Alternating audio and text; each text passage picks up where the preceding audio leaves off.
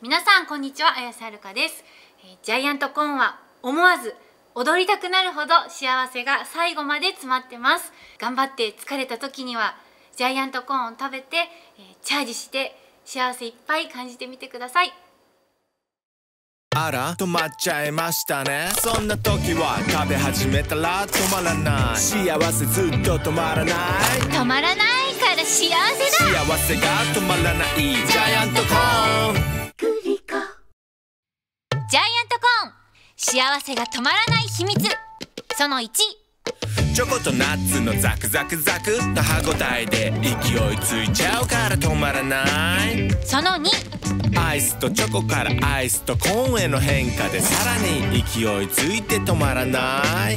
その3最後のチョコたまりが楽しみすぎて。幸せが幸せが止まらない。止まらないから幸せだそういうこと。幸せが止まらない。ジャイアントコーン。お願いします、は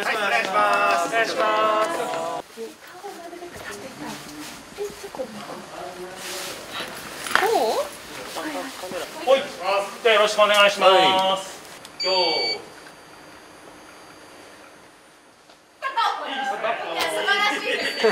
い。オッケー。はい、このカットオッケー。ありがとうございます。止まらないから幸せだそういうこと幸せが止まらないジャイアントコーンそういうことって言っちゃったよそういうこと幸せが止まらないジャイアントコーンはい。じゃあこのカットオッケー。です。とはいえ同じことちょっとよりでもやるんですね。あはいはい。よーい。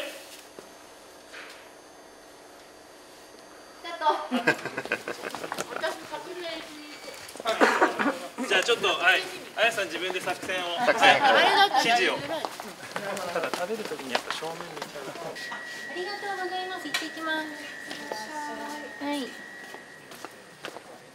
はい。はい、カット。美味しそう美味しそう。ありがとうございます。よーい。はい。はい。カット。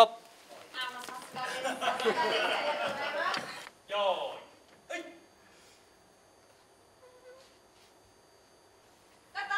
ほらうまい今のテクニカルな動き完璧です。で、これハイスピードです。ええー、リアクション裏取りなんですけど、踊ってるあのテンションでやりたくって。今走ってきた疲れちゃった 止まらないから幸せだはい。歌い方って監督今のでいいんでしょうか？止まらない真顔で聞く。から幸せだよかったです。オッケー。はい、このカットオッケー。